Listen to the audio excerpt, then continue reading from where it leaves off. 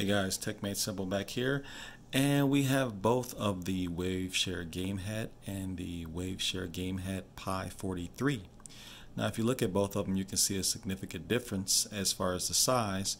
One is a more uh, portable option as you can see like a PS Vita, when the other one is a more supersized Game Boy you can kind of say. We're looking at a 3.5 inch display over here and we're looking at a 4 by 3 inch display over here. And let's just take a look at this one right now. And we're just going to show off how beautiful that screen is. I think Waveshare did an awesome job with the build quality of this. I know a lot of people complained about the game hat cutting their hands when they're playing it and all that. I'm not saying that this is going to be easier on the hands, but if you look at it, you're holding it like this so you're not really cutting into your hands like when you were holding that because you were forced to have this part right here in your palms. So holding it like this with the controls, a lot of people would think that because of the controls are so close that oh my god it's going to be too close and it's going to be uncomfortable. But if you look at it, you have this area and this area right here to get a nice grip. Move your hand forward and you can button smash and play as just as much as you want to. Now to look over the device we have the power. Let me focus the camera real quick. We have the let's, let's see if it gets focus right there. We have the power USB 2.0 to 3.5 millimeter head jack. We also have the on and off switch on the top. On the side of course we have the Raspberry Pi 3B Plus with the Ethernet port the four USB ports. We have the industrial look of course where it has the silver buttons that keep the whole case connected together. On this side we have nothing. You do have your card um, for your image your TF card. So you know any pre-made images um, that's fine. You do need to install the drivers just like you had to do with the game hat where you had to install the drivers to make it actually work. A lot of people told me before when doing so they would uh, install the drivers and the screen would go completely black. That never happened with me. When I installed the drivers, basically it just got, it reset itself and the text, the fonts, and the images got real huge. Popped it into my Waveshare device and it worked perfectly. Uh, over here on the bottom we have the backlight, uh, kind of like a contrast ratio where you can make it go darker or lighter. We have the volume up and down.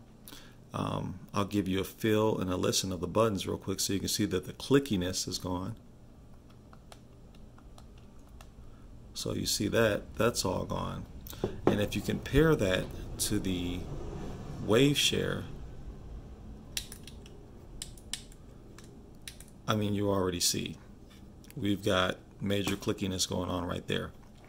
So let's look more up close at the buttons as you select, start, um, hotkey, I'm assuming that is. Um, someone actually told me that stands for Hong Kong. I don't believe that. But hotkey. So if you're in a, a Raspberry Pi image, you normally hit select and start to jump out the image. But with this one, you're going to hit the hotkey and start to jump out the image.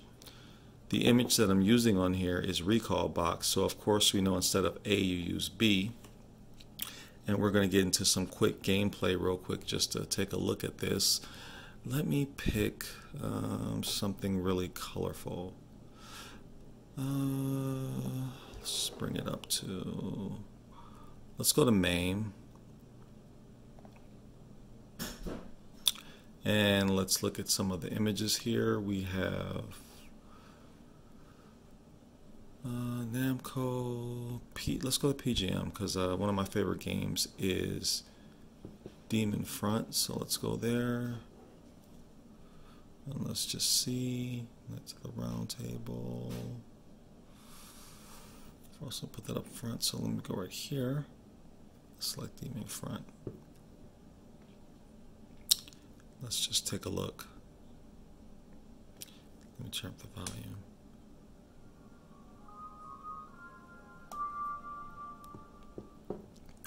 Now one thing about these speakers, they are tinny, just like the Waveshare uh, game hat. They're not the best speakers. They're not bad at all. You can't hear them, but in a crowded room, you're going to want to use headphones. Um, like the LCL PiBoy, those speakers are really good. Um, the GPI case, the new from Retroflag, those speakers are really good, but these aren't bad at all. So we're going to go to select for the coins. Start, we're going to pick our character. And this screen is phenomenal. Just look at the viewing angles of the screen. Look at this. Excuse me for the glare doing this in my kitchen, but as you can see, this is just phenomenal. I'll bring it a little closer and give you some gameplay. Okay.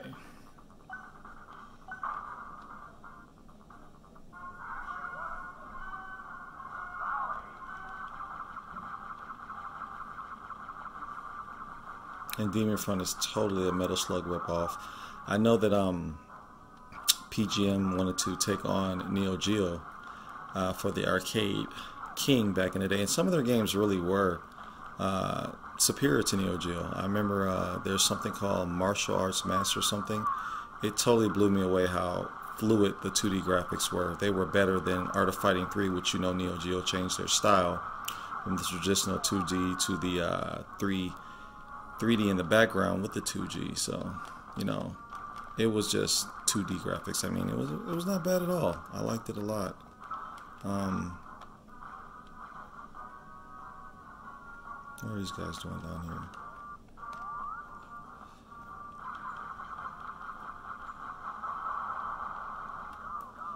But yeah, this is awesome. So I really like this. Just to give you a thing of how it looks in the hand. I mean, I have pretty big hands, but you know, the average person, you know, you can. It's not that bad. It's a 4.3 inch screen. It's not that big. So we'll go and check out something else. And also, let me show you something else. Let me just turn this down a little bit.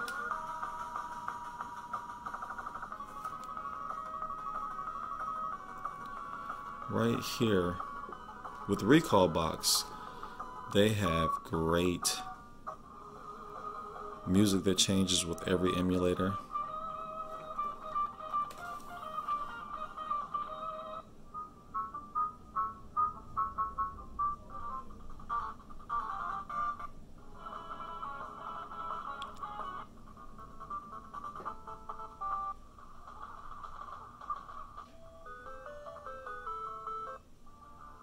Wow, 1070 for Game Boy Advance. Wow.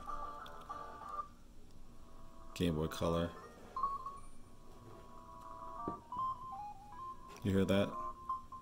So the sound isn't that bad.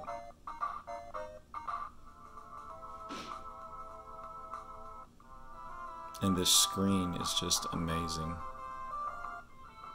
I can't talk enough about the screen.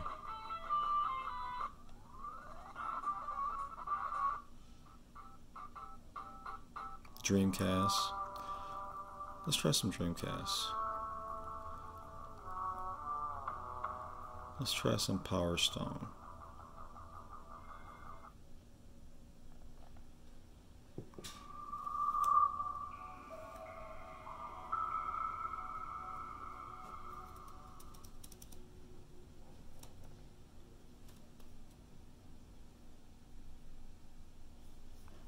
Also, there are shoulder buttons on the back, L and R. So.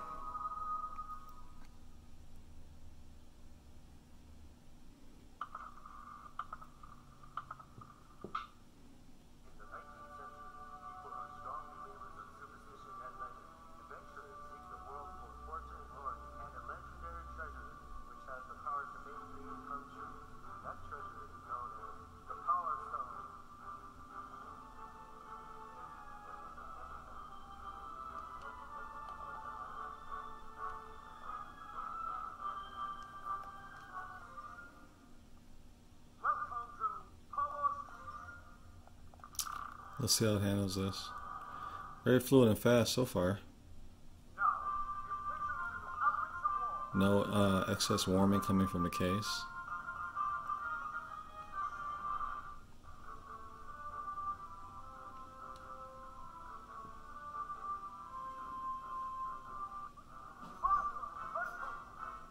So with this right here, we're going to take a look at some of the fighting aspects on this real quick.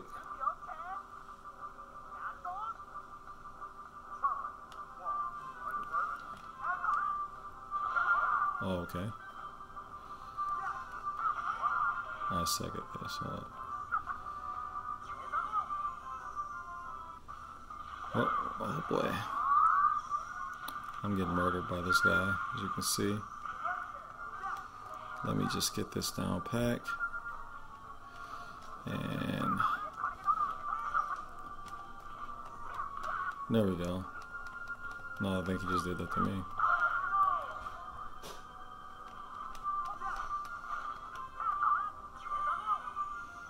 This is not fair. Woo!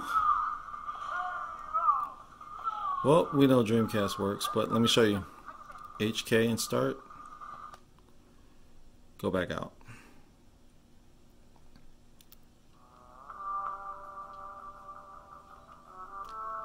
So yep, this is the GamePi 43. I think it's a worthy successor of the Game Hat.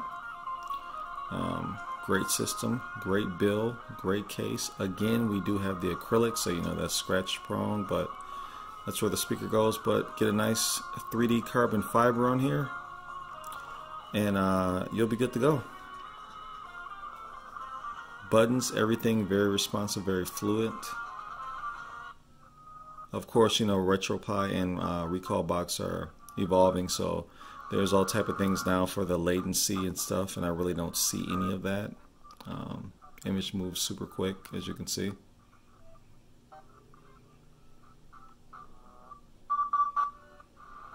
So, oh wait, I like that song. Listen to this with the Game Watch.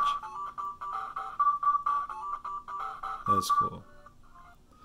So, let me end this off with, of course, you know, the game that everybody remembers that they play.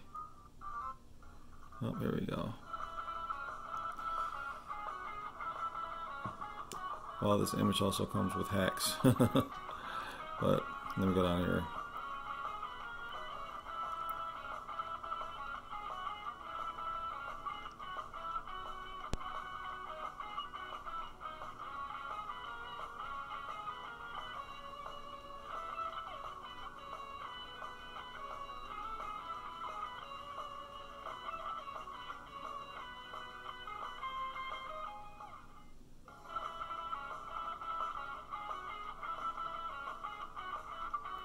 Of course, you know it was Contra.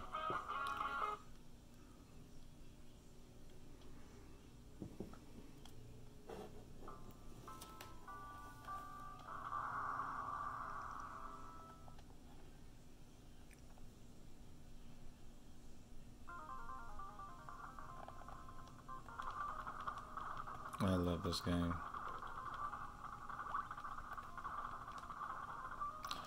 Be able to portable on a um, 4x3 inch screen. I know a lot of guys are like, oh my god, you know, you're not playing it in the correct ratio format. Uh, I'm like, you know what? It's 2019. Uh, back in the day, we were forced to play it that way. That's all fine and dandy. But with emulation, you have admin rights to do whatever you want to. It's an open platform. That's what it's about. You play it your way. Of course, you know we want to respect the retro old heads, and that's fine. But your system, your way. You play how you want to play. You put the games on there you want to do. You put the cover and artwork you want to do. If you don't want to play it in a, a 4 by 3 ratio and you want to play it in the 16 by 9 by all means, go ahead. don't let anyone make you feel bad about your choice of what you want to do. It's your system. You relive your retro way the way you want to relive it. People will always be opinionated about it. There's probably going to be opinions about this system. Oh my god, it's too boxy, it's too bulky, it's too this, yeah. But it allows you to take a whole entire library of 15 to 20 to even 30 some systems with you and have a ball. So that's my review of the Game Hat Pi 43. I think it's awesome. I think it's worth a buy. It's at waveshare.com. Check it out, and it is a successor to the game hat. Now you have two to decide from. This is Tech Made Simple. Take care.